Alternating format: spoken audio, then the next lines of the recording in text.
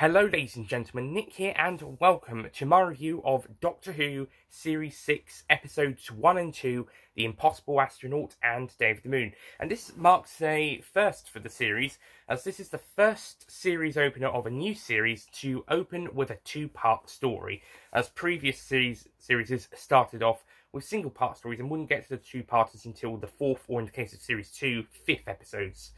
Um, it's also the first season to open with a two-parter since 1985 season 22, as seasons um, 23 to 26 opened with four-parters. Um, and those ones were the usual 25-minute episodes, while season 22 was the 45-minute ones. Um, and it seems like every other third, every third season from this one opens with a two-part story. So maybe series 15 will do the same, but we'll see what series 13 and 14 do as well. Anyway, so series 6's first two episodes. So the plot of this story is that mysterious envelopes are sent to Amy, Rory, and River, as well as a Canton, um, something Delaware the third, Canton Everett Delaware the third, possibly. I might get that wrong. I'll just call him Canton. Um, but yeah, these mysterious messages are sent to Amy, Rory, and River to meet the Doctor at Lake Silencio in in America. I think yeah, Utah, America. So after a updated um, title sequence, which I, I, won't talk too much about because I don't really talk about the Doctor Who title sequences and theme music in these reviews that much. I keep kind of it keeps slipping my mind earlier on. So I, like with the James Bond ones, I've decided to just do a whole video or two about them once the whole series is done. Although with Bond one, I'm waiting till No Time to Die has come out. But I'll quickly just say that with these, um, the Series 6 ones, they've just brightened it a little bit. They certainly brightened the logo. The theme tune seems to be the exact same throughout up until The Angels Take Manhattan. Um, but the title sequence for this one is the Series 5 one, but a little bit brighter, at least the logo is. From this point onwards, the title sequence includes the BBC logo with the um, the title card. Um, for some reason, I get it why it's on merchandise and stuff, but in the actual title sequence. Hmm. Then again, the way that the um, BBC logo was included on at the start of Series 5 and A Christmas Carol on the DVDs and Blu-rays wasn't that much better. I much preferred the usual square ones just appearing at the start like on transmission and how series 1 to 4 and the specials did it. That was, I think that was much better done. Anyway, so after the updated title sequence, the TARDIS crew have a picnic at Lake Silencio, which is Spanish for Lake Silence or maybe Silent Lake. Um, after a, a, a, gag from the Lodger being played again, there seems to be a running gag throughout the 11th Doctor's era that the 11th Doctor tries wine and then spits it out. Obviously, he's not a wine person, so maybe he shouldn't bother next time. Um, anyway, so Canton then appears, an older Canton, played by the father of the actor who will actually be playing young Canton, funny enough. Anyway, so Canton turns up, and then an impossible astronaut um, appears in the, the lake. Uh, title reference. Uh, um, the Doctor seems to know what's going on, and it turns out that he has been preparing for his death by the astronaut, who may or may not be that willing to kill him. So that's exactly what happens. The astronaut kills the Doctor, um, leaving our main compa our companions and Canton gutted and basically emotional wrecks, especially Amy. She, she's basically, I think a part of her's died when she saw when she saw the Doctor die. A part of her's died. Also, I also like the use of the whole um, thing from the end of time where the Doctor can be killed during regeneration being used. That bit in the end of time was a bit of a uh, whine fest. Well, the bit that came after that was a bit of a whine fest about it feeling like he's dying anyway. But I like how here, when it looks like the 11th Doctor's regenerating, he's then killed midway through regeneration, which uh, means he's basically dead. Though that being said, considering what we learn later in the 11th Doctor's era, it's a surprise he can actually regenerate in the first place, let alone be killed during regeneration. Oh, Steven Moffat, you naughty, naughty man. Uh, but more on that when we get to that. Also, there's an explanation for why the 11th Doctor can regenerate in his final incarnation here. Again, we'll get onto that. Um, not as late as um, when we get to the final regeneration story, but we'll get onto the explanation of how 11 can regenerate whilst on his final life. Hmm. Explanations will come. but we shall wait. Anyway, so after uh, burning the doctor's body in a boat, which he may have placed there earlier, possibly, if he knew, um, or came back to and did it afterwards. But yeah, afterwards, Canton introduces himself and uh, the companions go back to this diner, which will be popping up in a future episode. And some of the things that in that future episode concerning this diner doesn't quite line up with this episode. For instance, in um, this episode, there seems to be a back room. In that, uh, in the later episode, it seems that the back room was actually something else. I won't spoil it, but it's it's in Hellbent.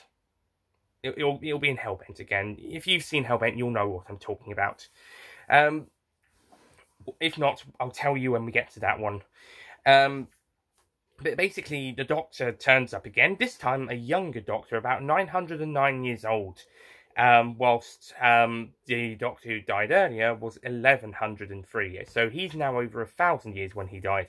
But this Doctor is now back at his um, just a few years older than he was in Flesh and Stone.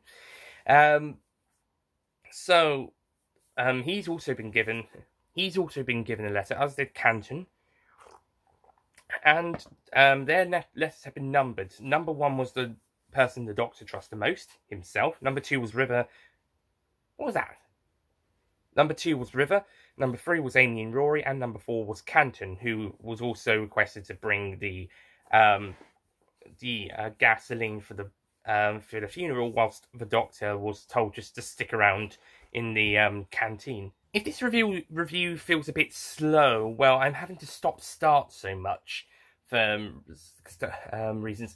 But anyway, yeah, the uh, the younger doctor meets up Amy and Rory and River at the canteen, who are a bit annoyed about what they've seen, but then soon realise um, that uh, this is a younger doctor, and so they cannot tell him about what they've seen in the future, and they all have to go to 1969 to uh, meet up with the younger Canton and soon get themselves involved with a alien mystery. It turns out US President Richard Nixon, played by Stuart Milligan, who, fun fact, played a character in the animated story Dreamland, the um, the uh, General Stark, that was it. General Stark. Uh, he he plays Richard Nixon, and also fun fact: in Day of the Moon, they actually go to Area 51, which was in fact Dreamland in Dreamland, um, which that the whole story was, was about that. Um, well, most of that story was about that.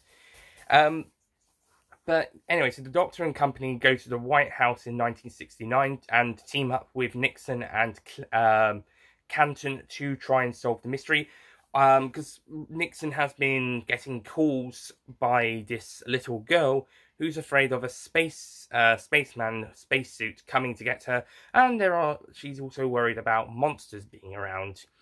Um, although it is a bit strange that Nixon thinks um, thinks it's a boy calling him and not instead of a girl, whilst in the prequel minisode, which I'll discuss in a future video, um, because I'm going to be talking about uh, Matt Smith minisodes in separate videos, um, not their individual reviews, but um, kind of videos on the Matt Smith minisodes because there's so many in the Smith era.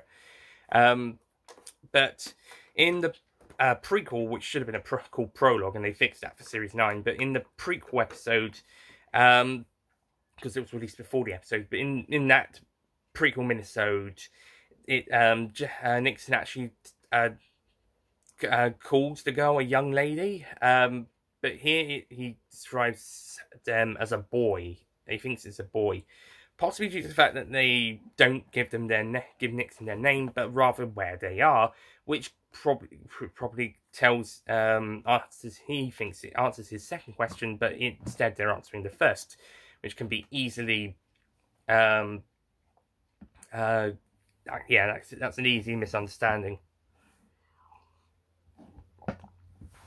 Where they are is in fact on a in a building on a street corner of um, Jefferson Street, Adam Street, and Hamilton Avenue. Or, or um, I, I, might be completely wrong. I only just watched the episode yesterday, but uh, memory's not terribly perfect after all. It's a place in Florida, the only place in the possibly in America where the the names of those three founding fathers have streets that are named after them meet at a junction.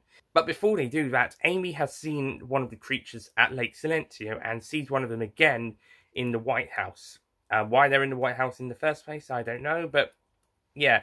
And she confronts one of them, and it it kills this innocent woman called Joy for some reason. I actually don't know why it kills Joy to show off its power, I guess. Um, but uh, I don't know why. Uh, yeah, uh, this whole bit is a bit of a question mark of what's it doing in the first place. But I guess it's a way to introduce the silence, um, the monsters before we we know who they are. We get introduced to the monsters themselves, um, and then we find a whole bunch of them at the um, address where the the gang is investigating with Canton in tow. And they, uh, River and Rory investigate these tunnels and find their own tar, uh, a TARDIS piloted by the Silence, which looks very much like the one from the Lodger. Hmm. Coincidence? Maybe? Um, and then the spacesuit comes and eats the girl and has her taken, put her inside the um, spacesuit. And then Amy um, try, attempts to kill the astronaut as she's worried that's what kills the doctor in the future. Um, however, she does not realise the girl's inside. Also, she reveals she's pregnant to the doctor. Wait a minute. Amy Pond's pregnant. How will this turn out in part two? Well, it turns out Amy was wrong. She wasn't pregnant. She was just feeling very unwell.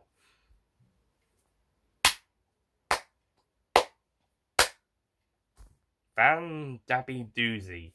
Um, in, fact, in fact, part two's opening. Oh.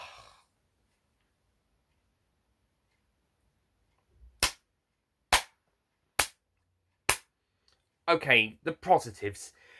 Um, the opening is actually quite um, fun and um, a, a bit action packed, which is good for an action fan like me. And if the if it made sense within a story context of the characters going on the run from the FBI, it would probably be a pretty interesting story, or the end of a pretty interesting story.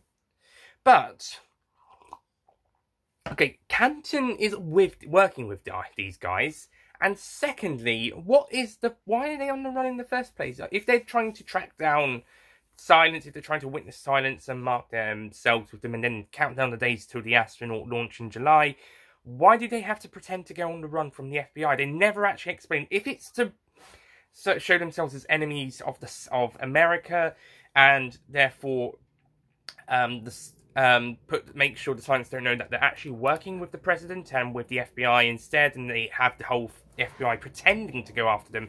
Blah blah blah blah blah.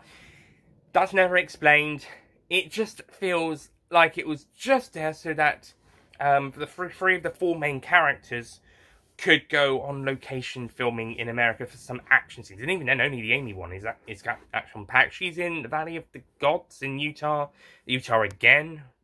Um, River Song is in New York, New York again, and Rory is at a dam in Arizona, which I would say is a nice new location, except that it, this one doesn't get much as use as the other two. So, yeah. Also, the Doctor is for some reason being incarcerated in a perfect prison, not unlike the Pandorica, but a different one, in Area 51 um, in Nevada. Again. Um, so yeah, this whole pre-title scene is pretty pointless prior to the very last bit at the end. It is absolutely pointless. There is no reason for Amy, Rory, and, River, and River to go on the run from Canton and the FBI. If they were pretending it so that the silence thought that the FBI would be after them, then it would make sense, but you have to explain that. But as that's not explained, then it's pointless apart from just to show off parts of America on screen. And even then, uh, uh, I think that could have been handled better by actually going to the actual places in the story. What is so wrong about that?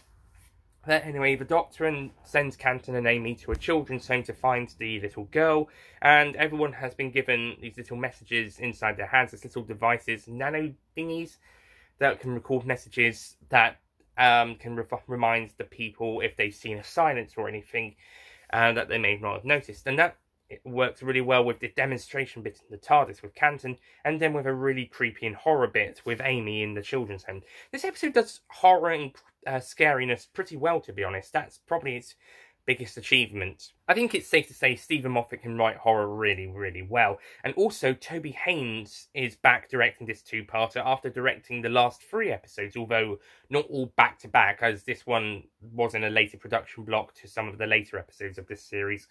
Um, so Pandora opens Big Bang. I think that might have been the end of the series. No, it wasn't the end of the series five filming block. And then you had, I think there was one more after that, and then um, Christmas Carol, and then a few more, uh, one or two in Series 6 before this two-parter. So, Toby Haynes says, whilst he's been directing the uh, five episodes back-to-back in order of broadcast, it's not been in back-to-back in order of actually filming them. But I think Toby Haynes directs this, um, is it Toby Haynes? I could be wrong.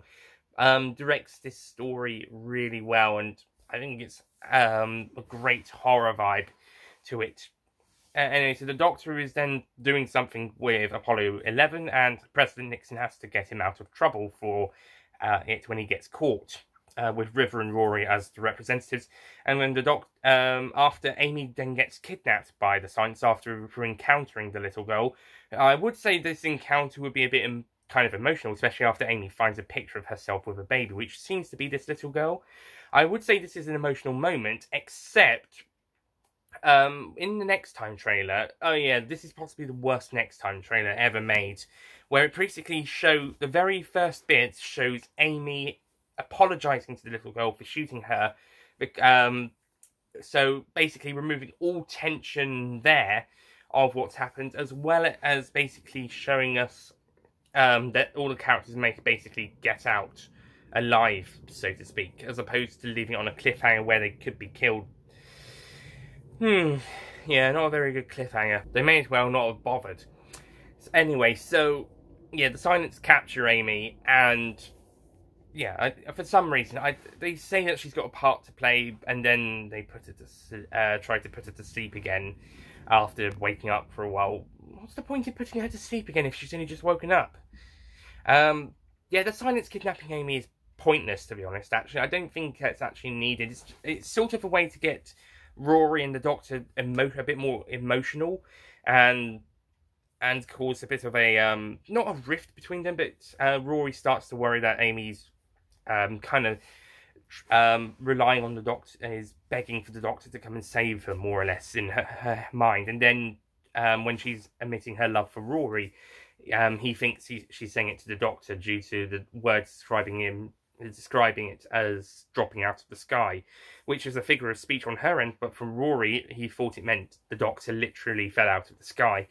Um, there's also the bit where the Doctor and River examine the astronaut suit after the little girl somehow manages to escape from it, which does end up almost killing her. Um, but we'll get more onto that more towards the end. And she is, uh, it, as it turns out, she is badly wounded for about six months more or less. But again, more on that later. And then there's this bit where River says, Our paths are intertwined. Your future is my past, my first and my last, blah, blah, blah. When the doctor's wondering about the letters. Yeah, River, that doesn't really explain the letters. Even if you're trying to be still not reveal anything, you don't have to tell us what we already bloody know.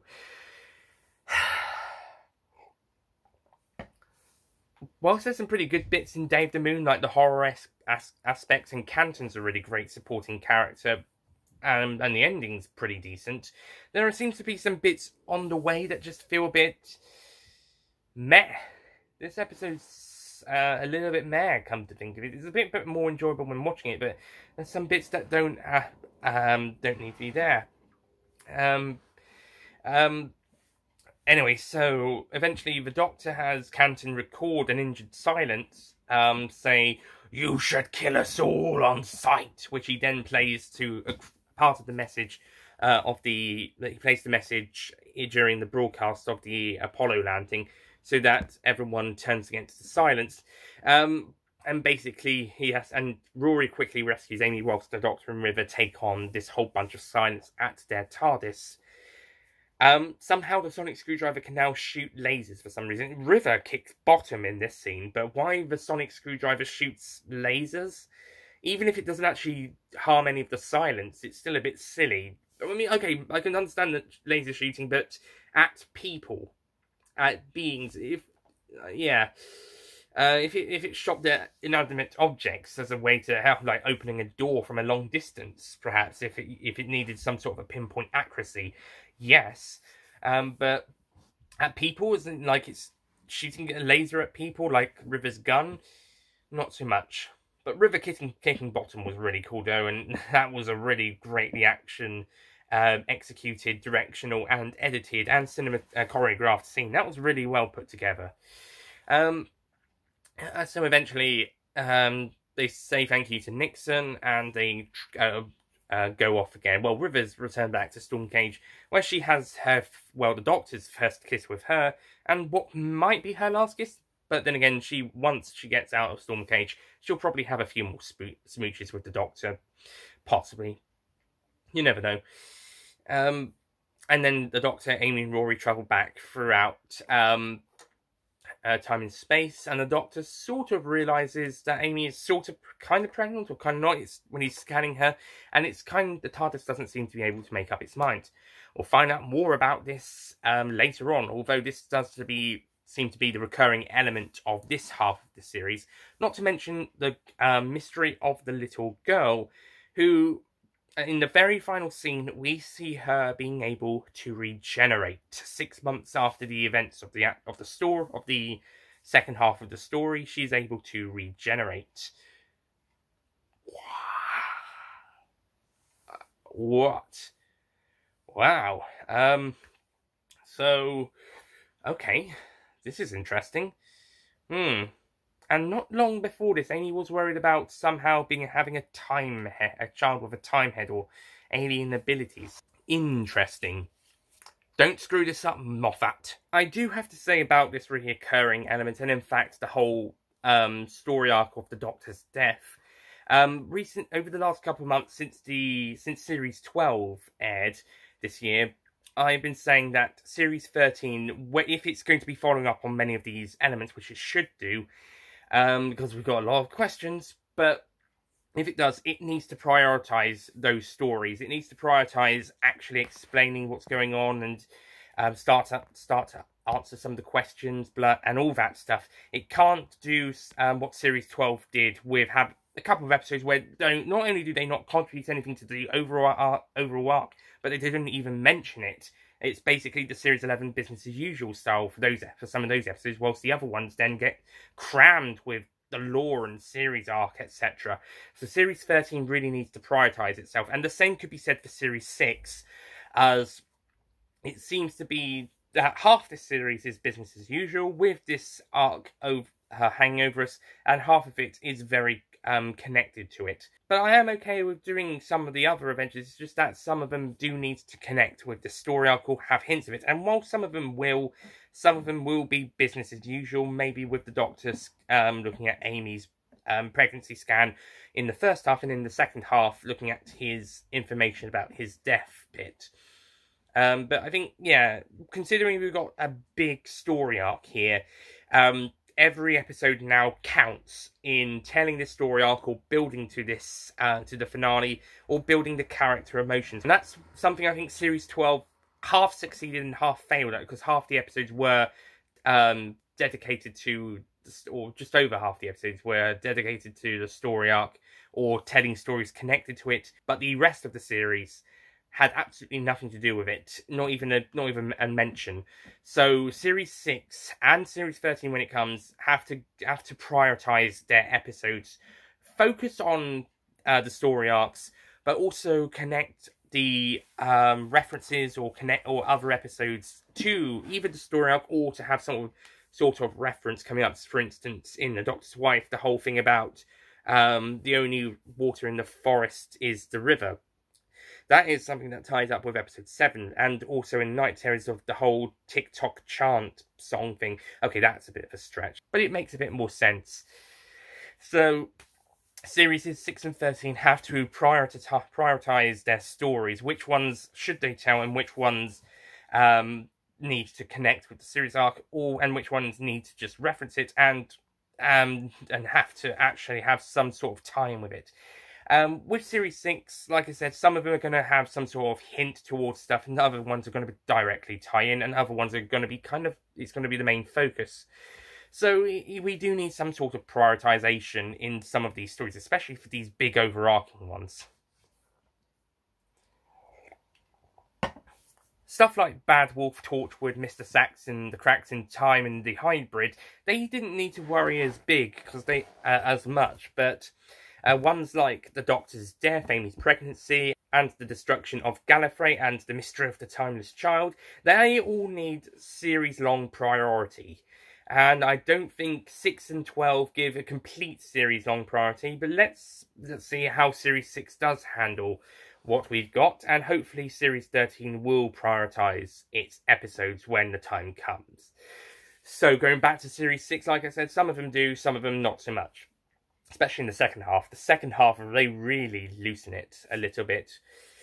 Um, um, also, I do have to mention, um, this is the second time recently that we've had this whole the Doctor is going to die thing, following the 2008 to 10 specials having it as a theme, and it's going to be done again with Series 7 having the whole the Doctor is going to die on Trenzalore stuff, and then Series 9 again with the with the uh, the confession dial. This is a trend that has to stop. Series 6, fine. It's a really interesting complex concept.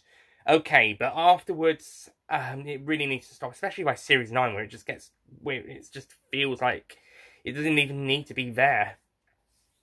So that's one thing I'll I'll give Chibnall credit for. He hasn't done this um, story arc yet. Maybe for the final Thirteenth Doctor story, which is fine if it's if it's restricted to the final episode or final few episodes, uh, sort of with like with sort of with Tenth Doctor, sort of like with the Tenth Doctor, but not as much of an overarch story, but more the last couple of episodes we're kind of building to it. But as a series long arc, including the specials, it really needs to go away and not come back for a long time. Um, as for this story, um, this story, I really liked the first episode. Impossible Astronaut is a great suspense mystery thriller with a great emotional start with the Doctor's supposed death and his companions having to come to terms with that whilst travelling with the younger Doctor and having to avoid not telling him, whilst also setting up this mystery with the Silence, who may or may not have something to do with this, uh, with the Doctor's death. Um, and also the whole stuff in 1969. That's pretty cool and some really good story. And Day of the Moon kind of continues some of the story, but there's also parts of Day of the Moon that are a bit meh. The opening didn't need to be, well, as it was. Um, Silence kidnap Amy just because. And considering what we find out about Amy later on in this first half of the series, they really, really, really didn't need to bother kidnapping her here. As, spoiler alert, they've already done that. More on that later on. But yeah, and just some bits just feel a bit meh in episode two. It just feels like it's a bit of a weakest uh, follow up. The Matt Smith era only has four two five two part stories in its entire era, and I think all but one of them have um, two parters that actually get weaker following the first half. Um, the the only one that doesn't is the Big Bang following the Pandorica Opens. That one might even be better uh, than that um, than the Pandorica Opens, but but the rest, the second episodes, usually pale when compared to the first ones, especially if the first ones are fantastic. Uh, Time of Angels was amazing, and I loved The Hungry Earth, but their follow-ups, Flesh and Stone and Cold Blood, didn't quite live to their potential. But in those two cases, those two were still really good episodes as well. And later on, we'll have The Rebel Flesh, which isn't really that much, I don't think he's that good to begin with. I think that's a pretty weak one. And then it's followed up by the dog shit known only as the Almost People. Again, more on that when we get to that one. Prepare for a fucking rant when it when it comes to that two-parter. Probably the biggest of the era. That were Sign of the Daleks. Um, but um, this story, I think the second part is a bit meh compared to the first one, which was really great. I thought that one was really great, especially the first half where it's all setting up the mystery of the story and of the series. Really brilliantly done. And again, like I said earlier, prioritizing. Prioritization, which is something not every episode will do in this series. I have just been talking in length about that, just not not that long ago. Um, so yeah, I think that one handled it really well. I think the acting from our guest stars, particularly Canton and Nixon, have been really great. Um, Matt Smith is fantastic once again as the Eleventh Doctor. That's going to get repetitive, I know, but it's the truth. Um, also, I'm really in, liking Alex Kingston's River Song. Her, obviously, her River Song's a bit uh, younger than it is to Silence in the Library, so she's a bit more flirty and a bit more uh, light-hearted uh, and less um, older and wiser, more open to enjoyment and uh, excitement. However, in this story, she does seem to be a little bit more. Um, there seems to be more of a darker personal side to her than there was in the previous two encounters with her, as she's starting to she starts to show um, parts of her past, re um, reminiscing. Well, not reminiscing, but starting to hint at um, darker times ahead, perhaps back in her her uh, younger days, as well as start um, fearing for her future, where once she meets the Doctor who never seen her before, she's she thinks she's going to die. After it's going to kill her, which is sort of what happens. Then again, Big Finish has made her meet previous Doctors and will make her meet the tenth Doctor again. But then again, that's apparently that's they, she gets mind wiped after all that. She mind wipes them after all that. It's only with Silence and Library Forest of the Dead that she probably wasn't able to mind wipe the Doctor because of her sacrifice there. And then post Silence and Library stories probably wouldn't need it to. Well, maybe she would because Time Angels would be the next meet his next meeting with her. Uh, it, Big Finish making her meet the doctors prior to 10 has now complicated everything. I mean, mm, it would be fine if it wasn't for the fact that 10 didn't actually know who she was. It might actually just be better to keep her meeting future doctors. Oh wait, that caused a bit of an issue when we came to her Husbands of River Song. Goodness sake, this character is pretty tricky to um, let meet any other doctor besides Eleven. I'm going to stop talking about that because I'm just going to get everybody confused, myself included. No, especially included. Um, Amy and Rory are great, especially since Amy seems to have part of her being killed. Uh, like I said, I think a part of her dies when she sees the doctor being killed. It, she's just she's broken by that, and she's still kind of damaged when she's uh, she doesn't know whether to tell the doctor or not. I also like how Rory's taking a bit more um, not charged, but he's certainly getting more involved with all of this. Now he is a main companion. He is getting more involved with going on. He's, um, like I said, back with Vampires of Venice, they're kind of buddy-buddy by then. So he's definitely come more buddy-buddy by now, and especially uh, because of um, Amy. And he's and because he's probably the one who's keeping the coolest head about the situation, so he's um, being the one who's probably making the smartest decisions. Also, I like how he gets to interact with River quite a lot. We got quite a bit of Amy River interaction in Time of Angels Flesh and Stone, so it's great to have Rory interact with River quite a lot in um, the first episode of this. Well, both episodes, I should say, but specifically in the first part. Um, so, yeah, that's really about it. Oh, and the Silence. They're a really great, creepy monster. They're really great. Apart from why they kill Joy and kidnap Amy, um, I don't actually know what that's all about. But besides that, they prove to be really creepy and scary monsters who want to put this little girl inside this spacesuit for some reason. I don't actually know why they want to put her in this spacesuit. I mean, I can understand why they will want to put the person in the spacesuit who then kills the doctor when it comes to that. But are they hoping that this little girl is going to kill the doctor at this point in time? If so, and there will be explanations about this later on, explanations about who wants the Doctor dead and why, but I don't actually know why they would want to put the little girl into this spacesuit now, considering who she grows up to be, and that eventually they do end up being put into that spacesuit or another spacesuit, and then assassinating the Doctor through that. Actually, I'm not even sure why they bothered that specific specific plan in the first place. Why don't you, just get them to kill the Doctor, and even then, um, there's the earlier there's attempts between this and then by this character who then attempts to kill the Doctor uh, at a later date in their life, but an earlier point before they're then forced back into the new spacesuit, or the original one again. Yeah, it doesn't make sense. The Silence plan to kill the Doctor doesn't make sense because they're just they're just trying everything they can.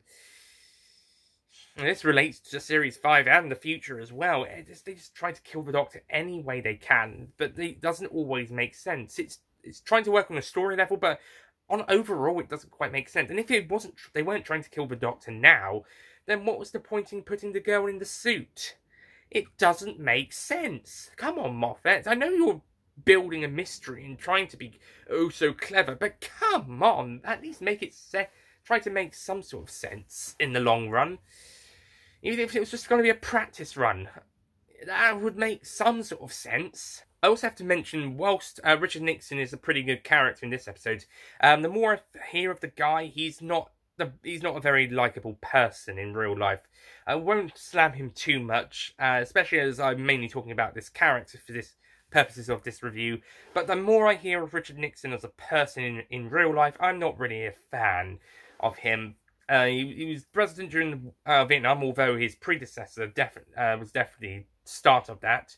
Um, there was the whole Watergate scandal, and that followed the events of the film The Post. And he's, I think he certainly wanted to put legal action against the Post in that film, certainly because of them reporting on the Vietnam stuff. Um, and yeah, he was definitely coming across in that film. He definitely came across as a dick. So naturally, I wouldn't have liked him there. But even if the Post were doing something wrong or illegal, or blah blah blah, um, that's uh, that still doesn't give him a free pass, especially as um, there's some also these drugs in America that they're illegal, and apparently there was a study by some of them saying that they're fine, they're fine, they're safe, they can be used for recreational drugs, and they presented it to Nixon, and he said, "No, no, I'm completely ignoring this." Because I want to, I want to have black people and Mexicans put in jail because I don't like them and the whole war on drugs thing is basically a whole racism thing. Yeah, there's prob yeah, there's probably uh, quite a few drugs that are really bad for you. That's why they're most of them are illegal um, in the 21st century, and some of the ones that were formerly legal can be legal in some American states or other or different countries, or for medicine. Um, but Nixon's whole thing about banning them was not because drugs were because the drugs were um, they were uh, unsafe. It was because he wanted to put people in jail uh, that he didn't like. Um, but unlike Stalin and uh, Hitler, um, this was through tact. This was tactical rather than um, stupidity. Stupidity. I mean, it was stupid, yeah, but uh, Hitler and Stalin weren't subtle with their arrests. They they just arrested anyone they didn't like. With Nixon, he just tried to um, have something made illegal and then have someone selected out as some sort of um, scapegoat. Um, yeah, scapegoat, such as black people and Mexicans.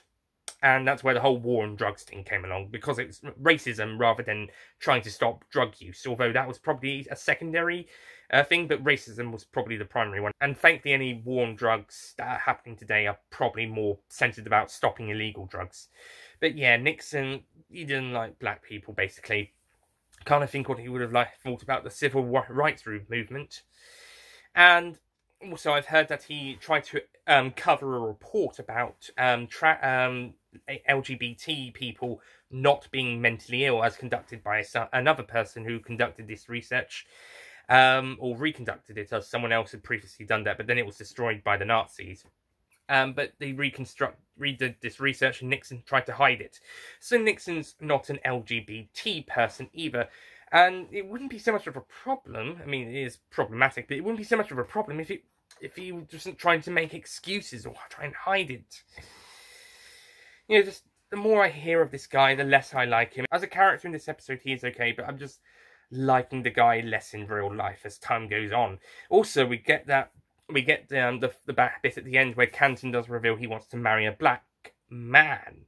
And you can see Nixon kind of a little bit uncomfortable with the idea of Canton wanting to marry someone who's black. And then, like, almost sickly like in his facial expressions when he finds out it's a man. Hmm. Well, give Steven Moffat this, he, he managed to accurately ca capture the, the um, real life person, if all of this is indeed true, which I believe it is. Um, um, also, the gay joke again. Well, actually, a, I know it's a, it's a bit of a forced gay joke in there, but then again, like I said, it's sort of reflects Nixon's as a person as well. And you can see in his facial expressions capturing what the real man would have probably thought of, thought of it. Hmm. Yeah, I don't think Nixon's been written in a way to make us sympathise or like him, like Winston Churchill, but uh, trying to um, hide this. I also have to. I also find that um, the um, security man who is shouting a lot at the doctor and company, and he's getting all uh, worried. He's he's definitely got the president's best interests in mind, but they gave all of those lines to this one person who is a black man, and he gets, keeps being told to shut up by Canton or the president. And I feel that, that that is slightly racial in some sort of a way. I think it would have been good if maybe some of the lines, or at least the bit where he was talking to Amy about the bathroom, should have been given to a white guy. Maybe it could have been even out between the two. Possibly, could maybe one of them was maybe the white guy was trying to one up the black guy, and he was the one who was shut up by told to shut up by the president, whilst Canton was the one to tell uh, tell it to the black guy. This would also show that Canton doesn't really care about race when it comes to this situation. He only cares about doing the job, whilst the president, it would be more of a racial thing, I, I would think. Certainly knowing this president. Anyway, that's enough of the politics in this story. See, Doctor Who was political before 2017. There are still people who are saying it wasn't. There are still people ignorant to think there wasn't politics before the casting of Jodie Whittaker or before Series 10 was released. Just stop lying! I mean, if you think it's more political these days, fine. But to say it was never political before, stop lying! Go and watch Series 1 again. That's a very good example. Or, or the, the first Dalek story. Do I need to keep reminding you guys? The ones of you who are actually sensible, I'm sorry, but the same I don't know if, I don't know if the same people watch these videos, but those same people I still have to address them. They may not be watching these videos, but they still they're still out there and they're still spreading these lies. So I have to keep telling them off, even if they aren't watching. But the message has to be spread. If you guys can tell them off as well, that would be fantastic. Absolutely fantastic. You'll probably get free Christopher Eccleston audio. Okay, that was a lie. I'm sorry. You probably won't get a free Christopher Eccleston audio. Um, you'll have to buy them when they come out. But yeah, if I could give you a free Christopher Eccleston audio before the, the Big Finish ones come out, I would as a reward for your for your kindness and thank and you your support and everything else and being sensible. Thank you, by the way. So anyway, uh, Impossible Astronaut Day of the Moon, fantastic start meh follow up. Um, yeah, um, it's an alright story. Um, overall, I think it's okay. I was going to, I originally had this down as a 7 out of 10. I was going to bunk it up to an 8. But you know after thinking about it, the second half is a bit of a mess story. It, uh, a bit of a meh episode. It's got some good bits, but overall, it's meh. So I will be giving The Impossible Astronaut and Day of the Moon a 7 out of 10.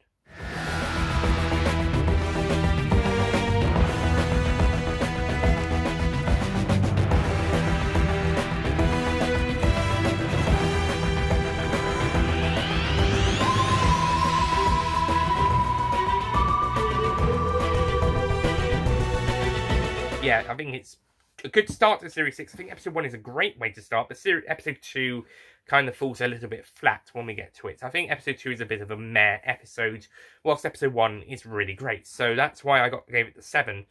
Um, as Like I said, it was almost an 8, but after thinking about it a bit more, Episode 2 is very meh. So, yeah, that's it from me. Thank you for watching, and I'll see you guys next time for another meh episode. The Curse of the Black Spot. Until then, I'll see you guys next time. Goodbye.